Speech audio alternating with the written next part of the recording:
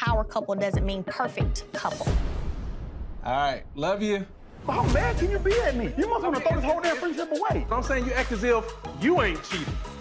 Why would you just let him say that? If I hear it again, that means there's some truth in it. I don't want to raise another child by myself.